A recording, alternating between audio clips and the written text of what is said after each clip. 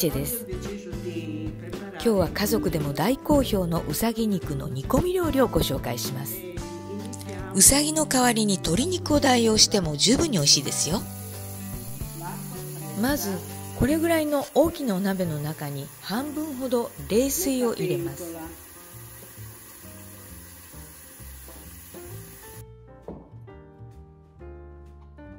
そこにコップ半分ぐらいの量の白ワインビネガーを加えます。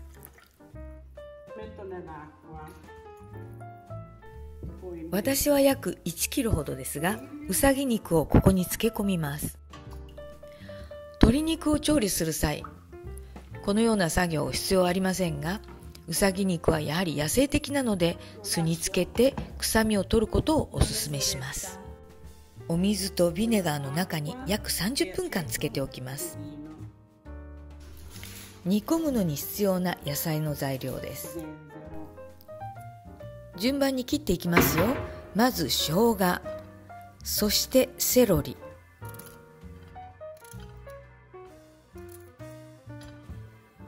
にんにく2かけ。人参とネギも切りました。ローズマリーやアロエも加えます。鍋にオリーブオイルをひいて今切った野菜を入れます。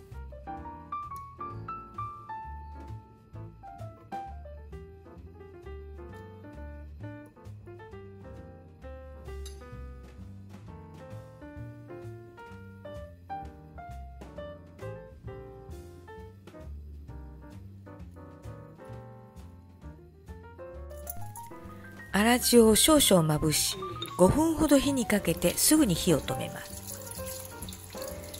水とビネガーに30分つけておいた肉を取り出しきれいに洗い流します。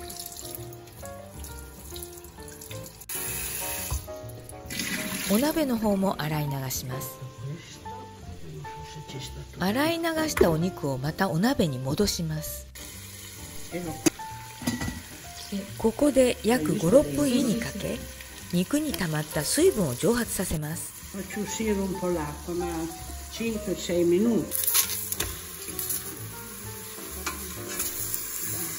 お鍋の底でくっつかないかどうか気をつけてください。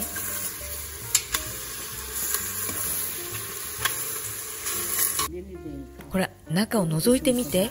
肉から水分が出てきてるでしょ。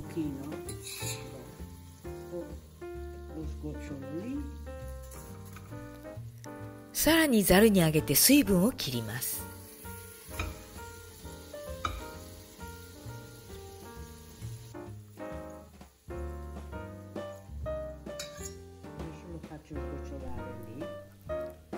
ほら水分がざるの下にも。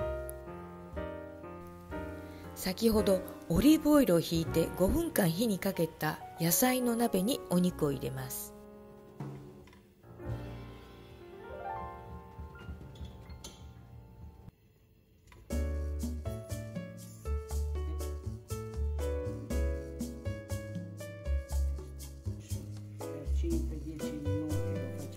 5分から10分ほどこのままにしてその後お肉をひっくり返します。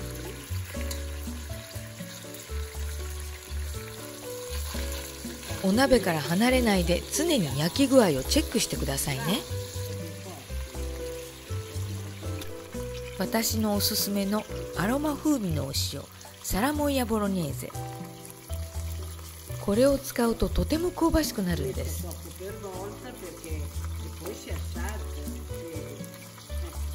今少しこのようにまぶしましたがまた肉をひっくり返して反対側にもまぶします。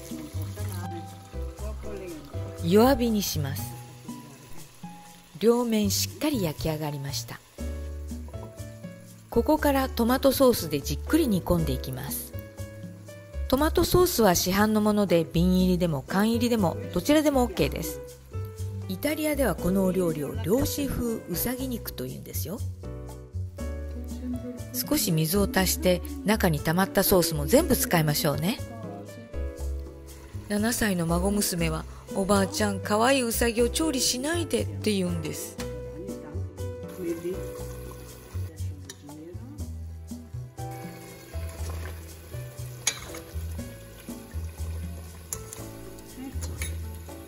加減を見てお肉をひっくり返します。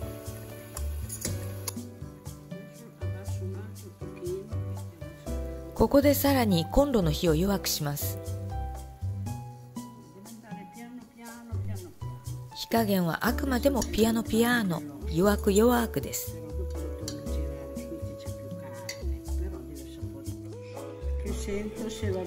塩加減を見てみましょう。どうかしら。うんいいですね。じっくり煮込みました。完成です。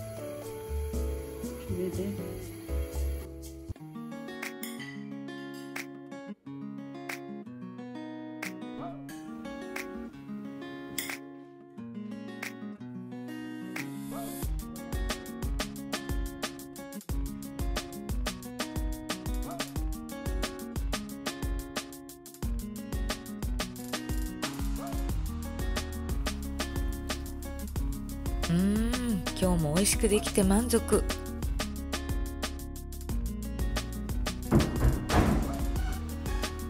最後までのご視聴ありがとうございました。よろしかったらチャンネル登録と高評価お願いいたします。それではまた。チャオチャオ。